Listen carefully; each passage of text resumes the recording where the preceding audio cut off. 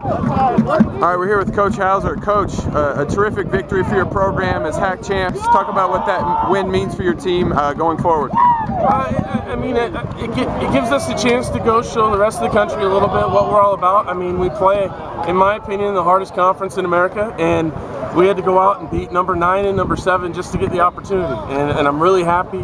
Our team has grown leaps and bounds, especially over the last month. I think we're 12 2 and 1 you know, over a long haul. And I, I'm really excited about what's possible for us. Your defense really tightened up there. You, you didn't allow many opportunities at all. Talk about your defense today. You know, we asked the guys to be disciplined and, and work hard. And I think the, the, work that Coach Phillips does defensively with us really starts to pay off. And, and you've got guys like Andy Griffin who've and, and Matt Bickley who've been in four years, and you know we trust them and we know they're going to show up when it matters.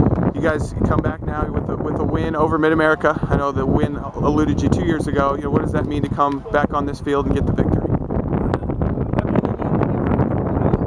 Coach has such a fantastic team. You know, they possess the ball. They, they force us to, to get stretched and fight and claw and, everything. You know, it, it's a good test for all of us that as, as we go forward. You know, all, all we can do is, is have respect for our opponent and know that to beat them, you know, you have to beat them. Thanks, Coach. Congratulations. Thank you. Thank you. Thank you.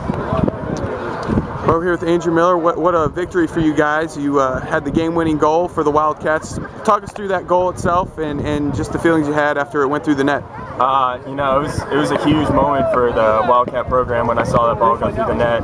Coach uh, Coach Davy Phillips told me to get up into the attack. I'm usually the one back, but uh, you know, he told me to get up in there. The ball came right to my feet somehow I didn't screw it up and it went in and then uh, messed up the celebration a little bit, but it was just pure elation at that point, nothing but elation. Talk about this team. You know, you know this is you guys are making history with the tournament uh, championship.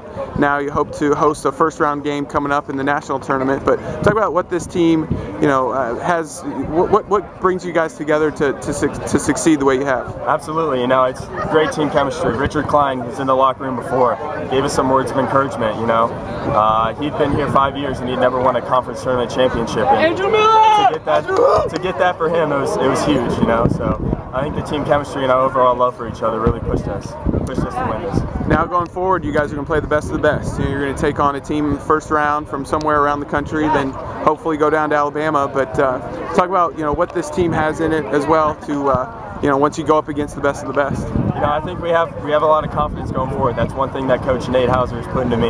Is you got to be confident in yourself. You got to be confident in ourselves, and I think we have the talent to get us to the next step. So I definitely look forward to it. Thank you, and good luck next week. Thank you very much.